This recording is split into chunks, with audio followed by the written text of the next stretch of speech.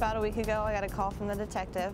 My three-year-old daughter said that my ex-boyfriend, Michael, was sexually molesting her, taking pictures of her, and that he was putting his mouth on her privates. I was married for three years to her father, Travis.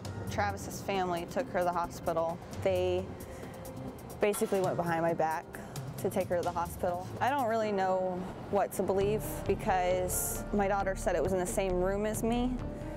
She sleeps next to me in the same bed. So for me not to wake up is just, it's, that's very hard for me to believe. This is my life that's on the stake.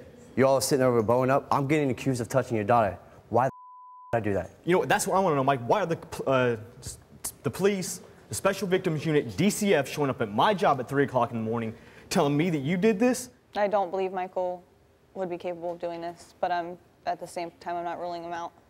Travis, I just, I don't know you two, okay? I'm not here to belittle anyone. But you have no idea what you're doing to my family, my child. And I hope to God that you two are happy. Again, I'm not here to belittle No, you. I'm not I don't happy. I don't know you. This is a sad and a horrible accusation that you're doing to him. I'm not here to accuse you of, of that you're I don't know. I don't know you. You know what I'm saying? But I do know my son. And I know 110% he did not do this. There's not one ounce of doubt in my mind. Did you fabricate the story that Michael touched your daughter? The answer no. You told the truth. Did you ever have any sexual physical contact with Barbie's daughter? You answered no, and the results are you did not tell the truth.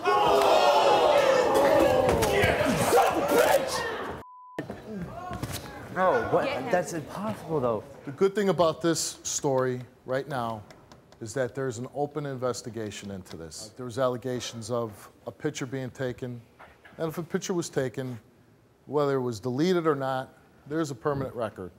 We give the test, we read the results, and as hard as it is sometime, and as as bad a result it is, that's what it is.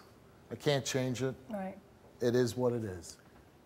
Something was bothering me. Plus the fact that uh, we read one question on your lie detector test that said you failed, but you failed everything.